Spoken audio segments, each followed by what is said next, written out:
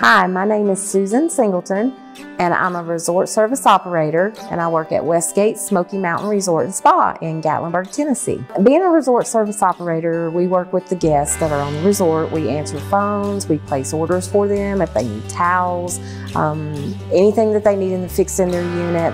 We also work within the departments with engineering, housekeeping, and security. We're kind of like the central station for all of the calls and everything that happens at the resort.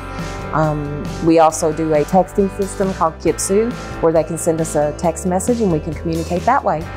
I love what I do because you have to love what you do or otherwise you're not going to be happy in your job. Well, I'm a happy person most all the time, so my drive is I just want to do the best for the company. I want to represent the company the best that I can, and I just want to help the guests and have them have a good experience. They're making memories. They're here with their family. That's their vacation, and they love to come to the mountains and that good southern hospitality they do term me as the cheerleader of the resort because I'm the one that wears the funny little head bobbers for all the different occasions, you know, Valentine's Day, holidays, I wear the little head bobbers.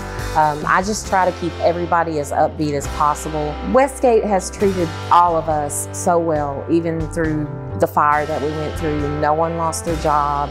They kept us all here. We were paid.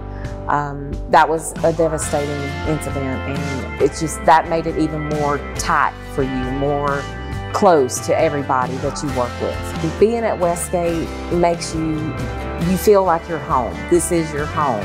They let you express yourself. They let you, you know, have those birthday parties, whatever it is that you want to do. If you want to have that potluck or that cookout, and that's part of being a family. Again, I'm Susan Singleton, Resort Services Operator, and that's why I do what I do, and that's why I do it here at Westgate Smoky Mountain Resort and Spa.